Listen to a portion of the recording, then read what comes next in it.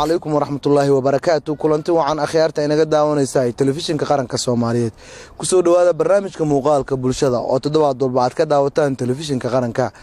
Toddobaadkan barnaamijka muuqaalka bulshada wuxuu idinkaga imaanaya magaalada britoria ee dalka koonfur afrika waxaana idinla socodsiin doona anigoo cabdulqaadir axad. Barnaamijka muuqaalka bulshada waxaan ku soo qaadan doonaa toddobaadkan xaalada guud ee nolosha soomaalida koonfur afrika gaar ahaan deegaanada hoos dhaca duleedka magaalada britoria inagoo socdaallo ku kala bixinay tuulooyin ka mid ah tuulooyinka hoos yimaada magaalada britoria ee dalka koonfur afrika una kuurgalnay xaalada soomaalida koonfur afrika gaar ahaan dhalinyarada ku dhaqan halkaasi iyadoo sidoo kalena aan waraysi iyo xog fara badan ka sameynay ganacsada soo afrikaanka iyo weliba ganacsada ajaaniibta iyo sida soomaalida ay xiriir ula sameeyaan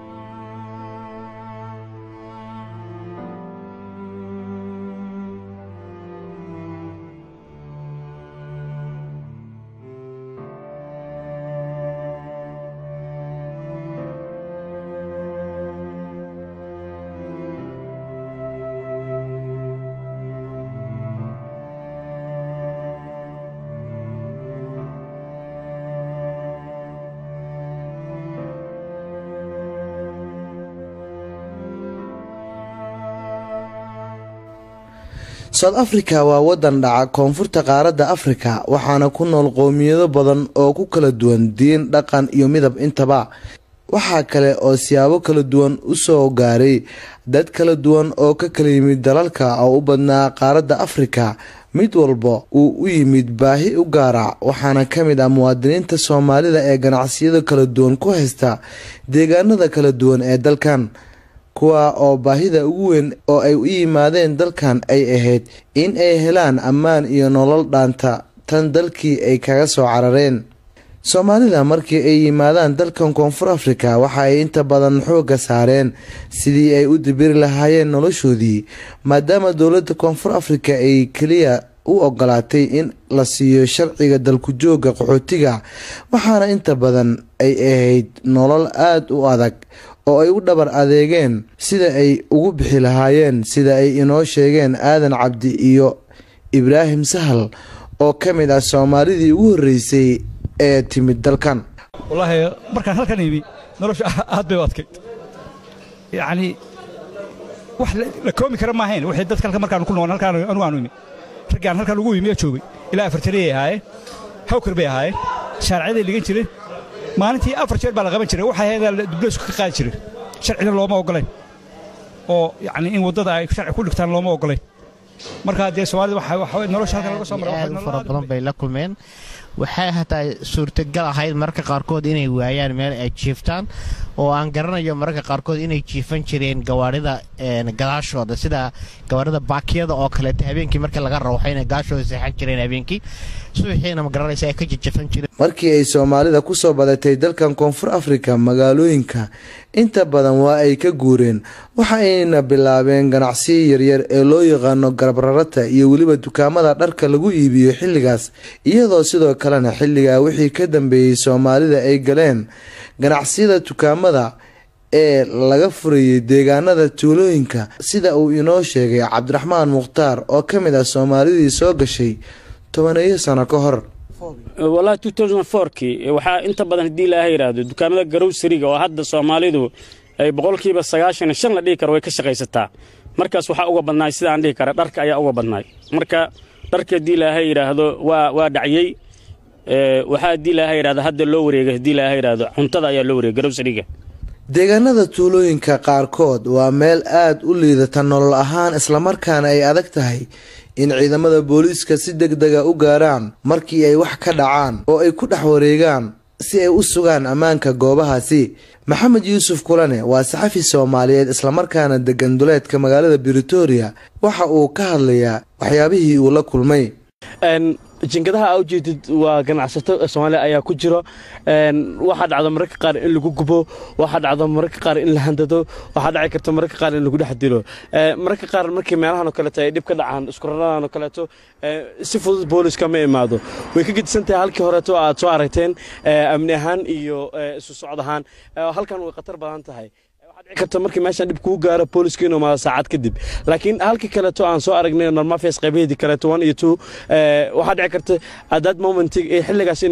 kugu imaadaan haddaba bilowga ganacsiga yaryar ee soomaalida ka sameeyeen deegaanada tuulooyinka waxa ay la kulmeen colaadin kaga timaado ganacsatada kale ee soud afrikaanka ee horey ugu noolaa deegaanada tuulooyinkaasi ah. Waxaana taasi mararka qaar keentaa in dil loo geysto soomaalida amaba dhibaatooyin kale sida uu inoo sheegay xasan xiite oo ka mid ah ganacsatada soomaalida ee tuulada maamaloodhi xaafadan waxaa nimid ayadoo aan loo ogoleyn wax fooran ah markii aan nimid marka dukaan aan ka furnay dukaanka markaan ka furnay dadkii xaafadda oo madowga ahaa iyo waxaa isku soo baxay dhammaan ganacsatadii joogtay ee afrikaanka kale ahaa waxay nagu wargeliyeen in aan qof soomaali ah ama qof bakistan ashiyaan ah aan loo ogoleyn meesha inay business ka furtaan.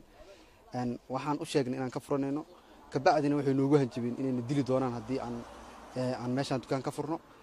Marka waxaan sameynay communitadiiaan la shirnay waxaan adeegsanay qodob dowladda south africa ay leedahay oo ah inuu ganacsiga south africa uu yahay free qof walba oo yimaado oo sharci helan oo furo kara business waxaa jira sababo kale oo badan kuwa oo loo aanaynayo in ay sabab u yihiin dilka loo geysto soomaalida iyo dhibaatooyinka kale ee ka soo gaara barakicinta ganacsigoodii waana kuwana sheekh axmed cabdi sheekh axmed dheere oo ka mid ah madaxda hay'adda culammada albayaan iyo weliba cumar maxamed cumar kiyow oo ah saxafi soomaaliyeed oo sanado badan ku nool south africa. Niyahow saddex arrin waa la dhihi karaa sababtu way tahay tan ugu horeysa waxaan is leeyahay inay tahay ganacsi dhex mara iyaga iyo dadka kale ee la degan meesha. Dadkaasi dhowr qoloy u qeybsamaan qolo waa qolo aan ajnabi ah oo sidanada soomaalida oo kale ah. Qolona waa qolada wadanka degan qolona waa qolo annaga deris nala ah. Ajnabi ah nala ahaadaan laakiin deris nala ah oo ayaga laftooda dhinac ka soo gala qolada saddexaad waxaan dhihi karaa dadka soomaalida dhexdooda. Cabdiqaadir dhowr siyaabood ayaa sabab u ah dilalka ka dhaca koonfur afrika ee soomaalida loogu geystay dalkan koonfur afrika iyadoo waqtiyadii ugu dambeeyeen ay sii kordhayeen. Haddii aan tusaale u soo qaato dilalka qaarkood waxaa geysta kooxo burcad ah oo dukaamaha weeraro kuwaas oo qowleysato ah.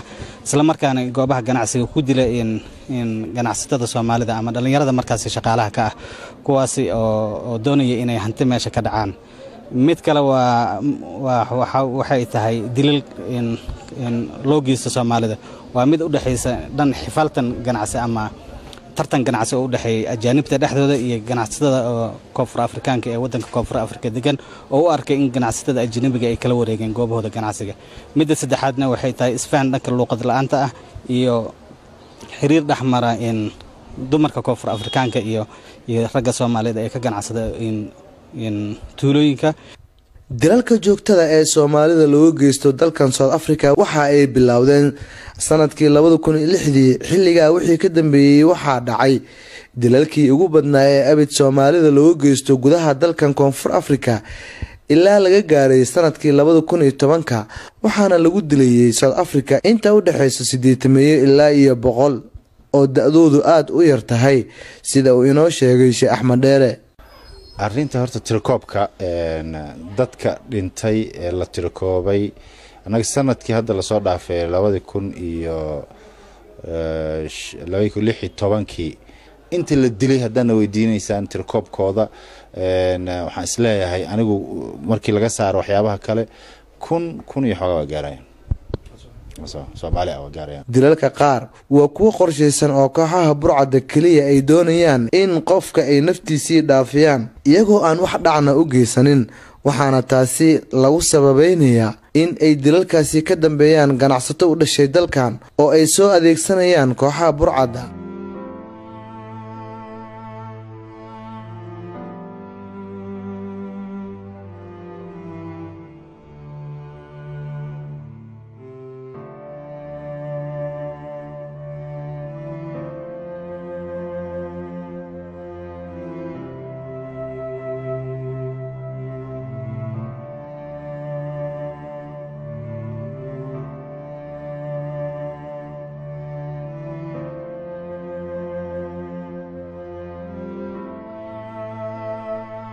dhammaadkii sannadkii tegay ee labada kun iyo lix iyo tobanka waxa ay soomaalida south africa ku sagootiyeen dhacdooyin murugo xanuun leh. Iyadoo sidoo kalena sanadkan aan ku jirno ee labada kun iyo toddobiyo tobanka ku soo dhaweeyeen dhacdooyin kuwaasi la mid ah waxa ayna dilalka soomaalida loo geystay kor u dhaafayaan ilaa iyo labaiyo toban ruux oo u badnaa dhalinyaro inkastoo ay jiraan dhalinyaro soomaaliyeed oo iyagu dhexdoodii dil iyo dhaawacyo isu geystay sida ay noo sheegeen sheekh axmed dheere iyo nabadoon maxamed cabdi sanka. Magaalada johannesburg keliya waxaan ku aasanay ilaa britoria markii la isku daro sagaal qof miya mise toban iyo koob. Ha magaaladan johannesburg iyo iyo iyo iyo iyo bishori markaas wadar dadka la dilayna almost dhowr iyo toban marayanba hadeertaan maanta labaatan iyo laba soo ma? Labaatan iyo labad almost toban iyo ko markii lagu daro ninkii naagtiisa dilay iyo waxa marka la isku dara. Haddii aan tafaasiil aan ka sii bixina maadaama aan xoogaal badan aan lahay inta badan dhibaatooyin ka dhacay maanta lokeyshinada sanadkan intii laga joogo kale soddonkii bishii laga dhammaatay ilaa hadda waxaan marahoynaa toddoba ruux oo maaragtay soomaaliya dhimatay. Saddex waxaa dilay gacan maaragtay gaga daran oo gaalada ayaa dishay. Hal nin soomaaliya asagaa is dilay. Laba kale saddex kalena waxay ku maqantahay gacan soomaaliyeed oo ayaga naftigeeda maaragtay soomaali isdagaashay ah. Marka waxaan leenahay ilaahay tabarta tacaala cudurkaas hadda nagu soo bilowday soomaaliya inay isdishaana ilaahay tabarta tacaala naga qabtaan leenahay waxaa dilalkaasi barbar socda in kooxaha burcad sood afrikaana ay xiliyada habeenkii soo weeraraan goobaha ganacsiga ku yaalla meelaha tuulooyinka waxaana ay ka soo galaan qeybaha hore ee saqafka dukaanka kadibna jirdil u geystaan dhalinyarada ka shaqeeya islamarkaana si arxan darro ah ula dhaqmaan. Dhacdada horta iigu horreysa igu qabsatay waxay ahayd oo weliba iigu darnayd dhacdooyinku way fara badnaayeen laakiin tii iigu darnayd waxay dhacdo habeen nagu qabsatay dhacdadaas niman tuuga oo madow ah soud afrikaana ayaa dukaankii habeen madow anagoo jiifna albaabkii bay nagu soo garaaceen. Intaa kadib albaabka albaab adag buu ahaa way jibin waayeen. Marka dambe gaari baaki ah ayay la yimaadeen. Baabuurka asagaha ayay horta noogu xireen. Birta turiska ayay baabuurka albaabka ugu xireen. Intaa kadib gaarigii baa dhaqaajiyeen. Albaabka sidii bay ku jibiyeen oo gaarigii baa lagu jibiyey anaguna maanan haysan waxyaaba aan isaga dhicino wayna noo soo galeen. Gurmad kalena maanan helin. Kadib qoryo unbaa nagula qabtay meeshii baa nagula xirxiray. Aad bayna noo garaaceen. Habeenka asaga ahaa. Dee wixii ay qaadan kareen way qaateen oo dhac fara badan bay dukaanka u geysteen oo ama kaash ama stock intaba.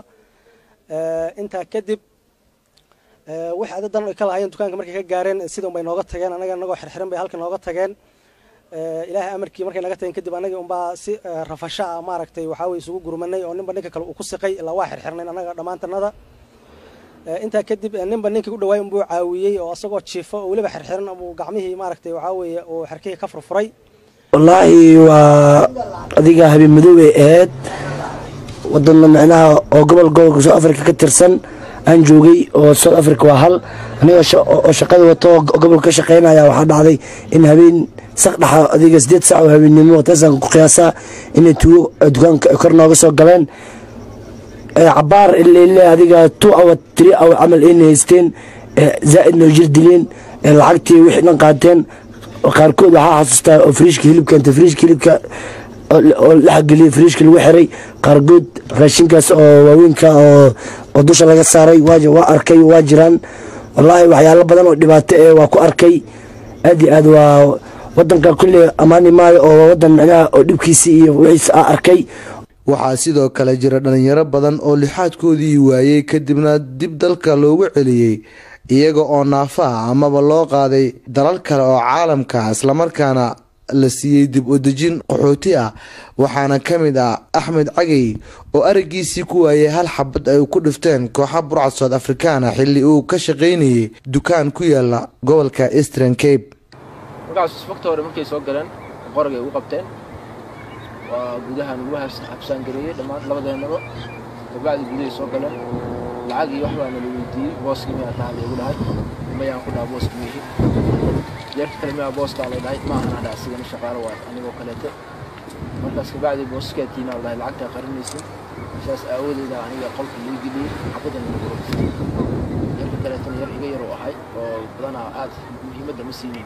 inta badan markii la soo dhaawaco dhalinyarada soomaalida ee ku nool deegaanada tuulooyinka islamarkaana laga soo saaro cisbitaalada waxaa la keenaa hoteelada soomaalida ku yaalla magaalooyinka si ay u joogaan inta ay ka caafimaadayaan.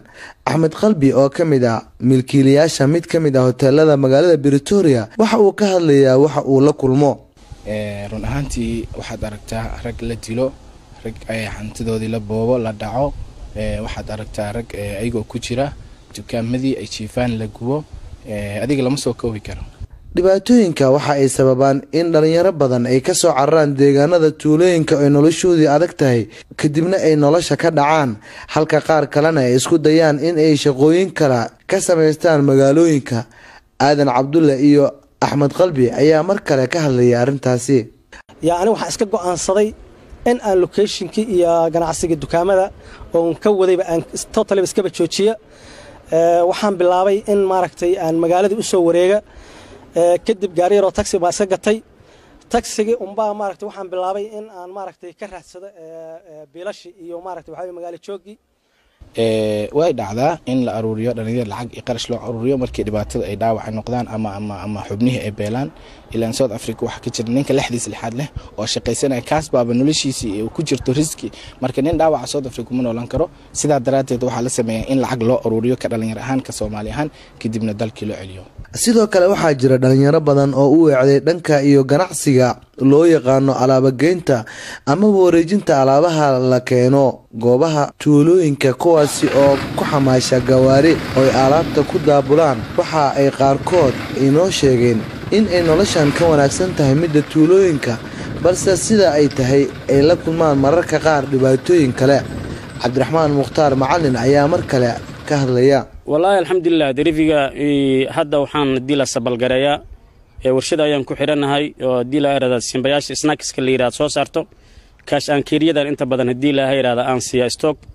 Markaygu horaan haddii laaha yidhahdo shop to shop dukaamada yarkaan sabalgarii jiray taasoo haddii laaha yidhaahdo aan saacad alla saacadna raba haddii laha south africa aan mari jiray. Waa qiyaasi kartaa north westi lebombo ilaa qowten inta isu jiraan.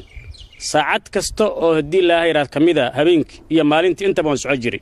Ilaahayna wax dhiba ilahay muustusmin dowladda abtuna waxba dhibaano. Adkaarteeda aan qarsadaa qof ilaahay ku xidhan aan ahay waxaa waaye wax dhiba ilahay mausan tusin. Alxamdulilah ilaah ku haddaba inta aan ku guda jirnay diyaarinta barnaamijkan waxaa bahda warbaahinta qaranka soomaaliyeed ee south africa ay socdaalla ku tageen qaar ka mid a tuulooyinka hoos yimaada magaalada britoria ee caasimada dalka koonfur africa gaar ahaan tuulada lagu magacaabo maamulodi oo qiyaastii soddon kilomitir u jirta caasimada koonfur africa markii aan gaarnay halkaasi waxaan la kulannay qaar ka mid a dhalinyaro da-doodu aada u yar tahay oo qiyaastii u dhexeysa sideed iyo toban jir ilaa iyo laba iyo labaatan jir kuwaasi oo ka shaqeynayay dukaamada ganacsiga ee halkaasi ku yiilay. Daahir waa wiil dhalinyaro oo ka mid ahaa ardaydii waxaa ka baran jirtay mid ka mid ah iskuulada magaalada muqdisho. Muddo yar ayuu joogaa south africa waxa uuna ka shaqeeyaa mid ka mid ah dukaamada soomaalida ay ku leeyihiin tuuladan waxa uu ka sheekeynayaa inta uu imaan south africa sawirkii u muuqday iyo xaqiiqda halkan uu kala kulmay. Xaqiiqdii markaa ka hadlaya soo afrikatu si fiican ma wareysan. Dadka qaar markaa soo dheen wadanka imaa wadda laga shaqeysto waa dhalinyaro joogto waxba kaabiimaa insha allah wax joogto. Inkastoo ana og xaaladda waddanka jirto aaladaha facebook iyo aaladaha kaleete midqaa tviyada ka arkaya dhibaatada ka jirto ayaa soo aada south africa. Alxamdulilah hadda ilaah waa nabad waanu ku nabad qabaa. Sawirka ay ii jirto waa jirtaan dad wax barto dadkaasoo la ii sheegay inay gelina waxbartaa gelina shaqaystaan. Laakiin ma ahan sidaa oo qofka mataqaanaa shaqada meesha laga shaqeynaa waa shaqa tuwanifaha horeysa oo meesha aad dhex seexanayso cunadaada jiifkaada sariirtaada oo weliba la wada ogyahay nolosha in hal qol aan one room deganaan taas oo la mid inaan xabsi ku jirno oo kaleete xabsi gacanteena isku soo gelino oo kale ay la mid taataan. Bashiir waxa ay shaqo wadaag yihiin daahir. Waxa uu isagana ka sheekeynaya noloshiisii ganacsiga iyo sida ay ula dhaqmaan dadka deegaanka wallaahi waa kolley oo dhowr mare noogu wacaan micnaha hadalla caay ee waa iskaga dul qaadanaa waa wax wax madow dad aan micnaha annagaa danteena makuula iyo fooranaa tahay iyo waxaanaa tahay iyo saanaa tahay dhibaato waa jiraan balse waa wax walba dulqaada u baahadiin waan iskaga dul qaadanaa kolley insha allah waxaan rajaynayaa si ugu dhaqsiyaha badan inaad dib ugu laabto wadankii saasaan rajaynaya insha allah wadankaana waa waan ka sii dhammaanaya ujeediin dartaan waxaa waa lacagihii meeshaana waa tiirkii aan ka shaqaysanayno saas waa walaal ganacsatada yaryar ee south afrikaanka ayaa sidoo kale inoo suura gashay in aan la kulanno oo aan weydiino qaabka ay u arkaan ganacsiga soomaalida. Waxa ay inoo sheegeen in ay aada ula dhacsan yihiin ganacsiga soomaalida oo ay wada shaqeyn buuxda kala dhexayso. Waxa ay sidoo kale inoo sheegeen in ay wargeliyaan soomaalida marka ay arkaan dad doonaya in ay carqaladeeyaan ganacsigoodii amaba dhibaatooyin u geystaan. I took them like a family and uh, like here in South Africa we were not having some in- oo kale ah. Laakiin halkan south africa ma haysan dukaamada alaabaha jumladaha gada waxaan dhashay sannadii tii ilaa hadda ma jirin. Cid ku fakartay in uu keeno dukaamadan jumlo iibiyaasha ah laakiin xasan ayaa keenay halkan. Waxaan haysanay ganacsiyo yaryar waana ku rafaadi jirnay. Laakiin hadda si fudud baan ku helnaa wax walba oo aan u baahannahay. Maxaa yeelay ma isticmaalno lacagta. Gaadiidka iga bixi lahayd. Waxaan badbaadsadaa lacagta shidaalka iga bixi lahayd.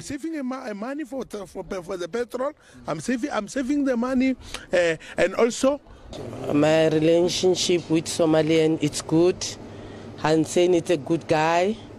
Tacaladan soomaalida waa mid wanaagsan haddii aan qabno wayna caawiyaan mararka qaar markii ay banaanka dukaanka ka dhacaan qalalaabto annaga ayaa dukaanka dusha u ka xirno oo ilaalino maxaa yeelay iyaga wayna caawiyaan he look after us. Even when we have a big problem, is the person is helping us a lot. Since I stay with Hansen, isfahamka dadka deegaanka iyo in aad kasbato waxa ay qaataan waqti dheer xasan xiite ayaa mar kale ka sheekeynaya wada shaqaynta kala dhexaysa dariska waxa uuna xasan aaminsan yahay in taasi ay keentay arrimo badan oo ay ka mid tahay in xaafadda uusan ka guurin sidii uu u soo degay. Dadka deegaankana uu kala bartay iyo weliba ganacsatada yaryar uu u dhaafay. Qaar ka mid a alaabihii uu iibin jiray si ay ugu raadiyaan nolol maalmeedkoodii dadkeenan soomaalida ah ma ku fiicna. Boqolkiiba boqol waxaa laga yaabaa dukaan. Hadda aniga waddanka wax badan aan joogaa waxaa laga yaabaa dukaanka aan degan tahay ee markaas aad joogtid qofka ku dhegan inaad garanayn. Oo mataqaana aadan oqoonba qofka next doo degan magaciisa ma taqaanid asna kuma yaqaano.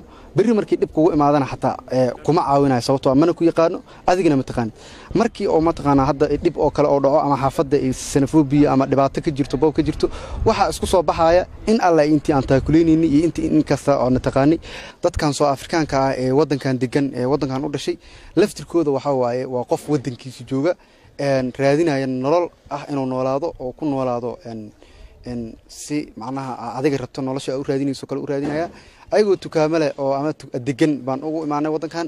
Een, ayaga laftirkooda waxay u baahan yihiin in la respect gareeyo oo waqti la siiyo oo ganacsigooda la fiiriyo. Haddii adiga aad fiiriso dantaada oo keliya oo ah rabto inaad hesho lacag walaahi niyo waxaa laga yaabaa inaad noloshaada dhan u weyso. Waxaa la gaaray habeenkii waxaan sugnay ilaa laga xiro goobaha ganacsiga soomaalida mid ka mid a dukaamadaasi waxaa hordhoobnaa carruur aad u da'yar oo deriska ah oo la sheekaysanayo dhallinyarada soomaalida taana waxay muujinaysaa in ay ammaan fiican haystaan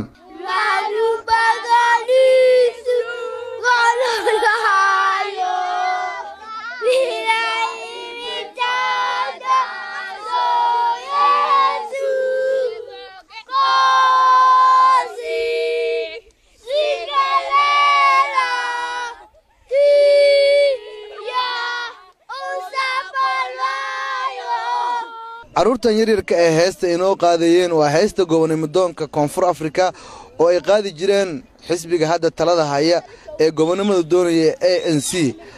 Haatan waxaan ku sugannahay magaalada britoria duleedkeeda oo soddon kilomitir u jirta tuulo lagu magacaabo maamolodi gaar ahaan waxaan joognaa dukaan soomaaliyeed oo lagu magacaabo madiiba oo ah qabiilka uu ka dhashay halyaagii koonfur afrika ee nelson mandela beri doono amaba seexan doono dukaankan si aan u ogaano xilliyada dukaamada la xiro iyo xilliyada la furo. Waxaana sii joogi doonaa ilaa iyo waa hadduu rabbi raalli ka noqdo. Waxaan weli joognaa mid ka mid a dukaamada soomaalida ay ku leedahay xaafadda amaba tuulada maamolodi ee duleedka magaalada britoria halkan aan taaganaha waa mid ka mid a albaabada securitka ama baglabaska waxaana la sameeyey laba albaab oo aad u adag labadaas albaab oo ka samaysan birta mid ayaad furaysaa kadibna midka labaad ayaad gudaha u soo gelaysaa waana qolka ay seexdaan dhalinyarada ka shaqeeya dukaanka. Halkan aad u jeedaan waa qeyb ka mid ah qolka waxaana yaallo laba sariir oo waaweyn iyo bustooyin ay ku seexdaan dhalinyarada ka shaqeysa dukaanka oo gaaraya ilaa iyo afar dhalinyaro ah. Qolka waxaa dhinaciisa kale ku yaalla amaba qolka ay ku furan yahay kushiinka lagu karsado cuntada dukaamada soomaalida cuntada banaanka uma doontaan ee waxay ku karsadaan kushiinka. Weliba dukaankan waa dukaan dhagax ka samaysan waana dukaamada ugu ammaanka badan. Xaafadan mamalodi ee britoria ee dalkan koonfur africa halkaan aad ujeedaan waa kushiinka ay samaysteen macbilka ah ay ku karsadaan cuntada. Dhinaca kalena waxaa ku yaalla musqushii oo qubayska ahayd. Kushiinkan aad arkaysaan waxaa yaalla alaabaha cuntada lagu karsado iyo weliba cuntada markaasi u baahan in la diyaariyo.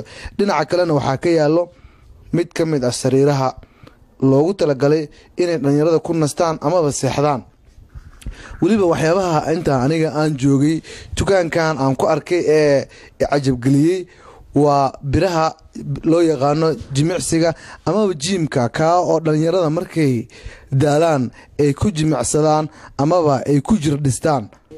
Waxaa xusid mudan in dukaamada qaar ee soomaalida koonfur africa ganacsiyada ka sameeyaan inay sidaan oo kale u habeysnayn jiifkoodii weliba aan oolin biraha lagu jimicbaxsado. Hadda waxa aan isu diyaarinayna waa karinta cuntada ee caawa cashada maadaama aan dukaankan marti ku nahay seexanaynana si aan barnaamijkan aan u diyaarino aanna u tusno daawadayaasha telefishinka qaranka nolosha dhabta ah ee soomaalida koonfur africa gaar ahaan ganacsatada soomaalida ee ku dhaqan dalkan koonfur africa annagaa caawa marti ah balse dhalinyarada waxay nagu sharfeen inaa anigii iyo kooxda s n t v iyo guud ahaan warbaahinta qaranka ka socota inay caawa cashada ku tuuraan amaba kariyaan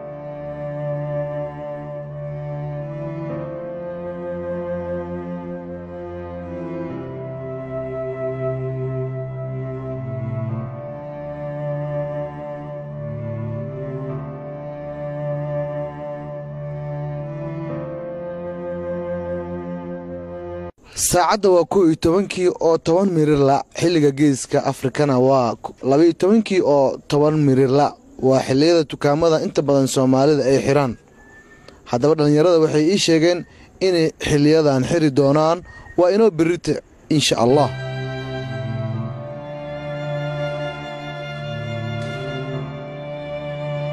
Halkan aad u jeedaan waa gadaasha dambe ee dukaanka waana qolka ay seexdaan dadka dukaanka ka shaqeeya. Inta badan waxaa seexda dhalinyarada shaqaalaha ka ah dukaanka halka milkiilayaasha dukaankana ay u hoydaan meelaha magaalooyinka. Taasina waxay sabab u noqotaa mararka qaar in la dilo dhalinyarada shaqaalaha ah oo iyagu ku shaqeeya bishii laba boqol iyo konton dollar oo ku waaya naftoodii qaaliga ah. Goobaha ganacsiga tuulooyinka waxaa la furaa shanta subaxnimo xilliga salaada subax kadib waxaana la soo toosnay dhalinyarada subaxaasi ku qorneed in ay furaan shaqada. Waxaan sii gudagalnay in aan la kulanno ganacsato kale ee aan ahayn soomaalida iyo soud afrikaanka. Waxaa jira ganacsato ethoobiyaana oo iyagu ganacsiya ku haysta xaafadaasi kuwaasi oo aan qaarkood la sheekaysanay. Waxa ay aaminsan yihiin in wada shaqayn buuxda ay la leeyihiin soomaalida islamarkaana markii uu dhib dhaco sida boobka oo kale ay iskaashi la sameeyaan soomaalida.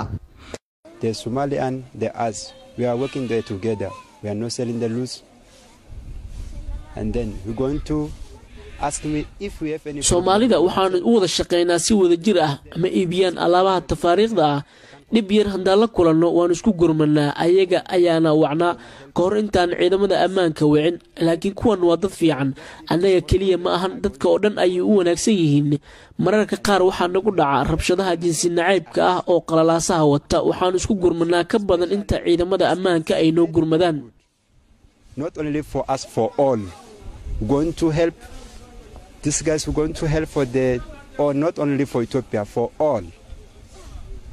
በዛ ላይ እንትን ሶማሌዎቹ በጣም በጣም በጣም የእነሱ ካልቻንን በመጠቀም waxaan doonayaa inaan ka hadlo arrin maalin dhoweyd nagu dhacday waxaa jira wiil ay naga dileen soomaalida si aanan ku talagal ahayn ayuu u dhacay falkaasi soomaalida waa ayna wanaajiyeen waxa ayna nagala qayb qaateen wax walba oo meeshaasi ku baxay waa dad aad u wanaagsan oo dhan walba uu naga dhexeeyo isfahan wada shaqayn ah waddadan hadda aan taaganahay waxaa lagu magacaabaa malepo street waa mafia mamalodi duleedka magaalada britoria waa wado kulmisa saddex dukaan oo ay leeyihiin saddex qowmiyadood amaba saddex waddan. Dhinacan waxaa iga xiga dukaan ay leeyihiin ganacsato soomaaliya ah. dhinacan bidixna waxaa iga xiga dukaan ay leeyihiin ganacsato etoobiyaan halka gadaasheedana uu ku yaalo dukaan uu leeyahay nin u dhashay dalkan koonfur africa waa wado yar oo hal kilomitir ka yar. Haddana waxa ay kulmisaa saddex dukaan oo ay kala leeyihiin saddex ganacsato oo saddex waddan kale ah. Taasi waxay muujinaysaa isdhexgalka qaar ay sameeyaan qowmiyadaha amaba waddamada u soo hajiray dalkan koonfur afrika iyadoo koonfur afrikana ay ku yaryihiin dad sidaan oo kale isu dhexgala amaba dukaamo sidaan oo kale maalmo kadib markii aan ka soo dhammaanay tuulada ee aan ku soo laabanay magaaladii marka hore aan ka ambabaxnay ee britoria aniga iyo wariyaasha warbaahinta qaranka ee south africa ee barnaamijkan waxaan u gudagalnay oo aan isku daynay in aan raadino qoysaska qaar ka mid ah dhallinyaradii lagu dilay deegaanada tuulooyinkaasi iyo carruurtii ay ka tageen waxaana inoo suura gashay in aan helno faadumo daahir ibraahim oo ah hooyo soomaaliyeed oo afar carruur ah haysato. Waxaana ninkeedii lagu dilay iridda hore ee gurigeedii britoria west ee xaafadda soomaalida u badan yihiin sannadkii labada kun iyo afariyo tobanka. Wallaahi qaabku dilkuu dhacay waa laba saabeennimo horta asaga la dilay. Guriga gurigii aan degnayn gurigaan mehe guri kale aan degnayn irideen hortiisaa lagu dilay. Wiile qaraabihiinoo saaxiibana ahaayna intuu u yeeray laba saabeennimo ku yeeray shidaalka iga go'ay iridda hortiisaan taaganaya shidaal ii keen. Wiilkuu shidaalka u soo waday. Shidaalka markuu u keenay wiilkuu shidaalka u keenay marka wuxuu doonay bahasha oo dublada ah dublada intay ugu maqan tahay saddex nin oo madow ah dhinaca kale laamay gadiga kale u soo istaageen. Nimankaa marka waxay ku yiraahdeen waxaan rabnaa meesha home faresta sharciyada laga qaato waa xagee asina si daacada u hadlaya soo dhawaada yiri adiin sheegay. Markuu u soo dhawaadeen saddexda dhinac intay ka mareen qoryaha ku qabteen asiga wiil kaloo meesha taagan. Furo baawur ay ku qabsadeen furaha baawurka keenuu yiri. Marka furaha baawarka ma bixinayo dheh. Naftan baad iga qaadaysa mooye waa waxaan keliya aan reerkayga aan ku biishto. Waa nolosheeda fura idima siinayo funaanadee madax u geliyeen dhulkay seexiyeen waxay wateen ka baareen lacag kun iyo laba boqol u watay ka qaateen. Gaari kale kii shidaalka dansanaa furihiisay qaateen. Asagay isku dayeen inay furaha ka qaadaan way ka qaadi waayeen haddee la xarbi ka qaadi waayeen ninka kale waxay ku dhaheen saaxiibkaaga furaha noogu qaad markaasaa lagu yiri nimcaan furaha iska bixi. Ma bixinayo yiri waxa keli aan ku noolahay south africa aan reerkeygaan kaga biilinaa waa gaarigan way dili karaan uma ogiye. Xabaday marka ku dhufteen hal xabo. Waxay kaga dhufteen dhankan fiiraha. Marka calooshay saa u dhexmartay beerkay goysay calooshay dhexmartay qaskay u fariisatay lafdhabarkay jabisay. Labaatan iyo saddex beri ustaal ku jiray uu kooma ahay maalinka labaatan iyo afarna uu dhintay bishii afaraad. Faadumo iminka waxa ay ka shaqaysaa maqaaxid oo ay ka raadiso nolosha caruurteedii iyo sidoo kale waxbarashadoodii waxaana ka muuqatay xusuustii murugada badneed ee naxdinta ay ka qaaday geerida seegeedii allaha u naxariistee. Waxa ayna hadda qalbigeedii ku qaboojisaa in ay heli doonaan iyadiyo caruurteedii nolol tan ka wanaagsan iyo weliba mustaqbal hadda waan shaqaystaa maqaaxiyaan ka shaqaystaa maqaaxi anaga furani oo aan ka shaqaystaa. Subaxiina ilmahayga aan maqaaxida ugu soo xamaashta waxaa i caabiyay wiilkan axmed loo dhaho halkaa ila fadhiyo maqaaxida ila shido oo ila og intaan maqaaxida intaan joogin anaa jooga markaan ka soo tagana asaa gacanta igu haayo oo i caabiyo aada u ii garab qabti. Afar labaa iskuul dhigato labada weyweyn labadan weli gaarin way keliya soomaalida koonfur afrika halkan kuma haysato dhibaatooyin balse dhinaca kale waxaa barbar socda horumarro la taaban karo oo ay ka mid yihiin ganacsiyo baaxad leh iyo waxbarasho. Waxaana ku soo qaadan doonaa barnaamijyadeeni dambe ee muuqaalka bulshada. Barnaamijka muuqaalka bulshada toddobaadkan oo idinkaga imaanaya magaalada britoria ee dalka koonfur afrika waxaa idinla socodsiinaya anigoo cabdulqaadir axad. Dhanka farsamada iyo kaamirada waa cabdulaahi maxamuud amiin cabdulaahi qorshe waa bahda telefishinka qaranka soomaaliyeed ee south africa isku duuban oo idin leh. Sidaa iyo nabadgelyo. Wasalaamu calaykum waraxmatullaahi wabarakaatu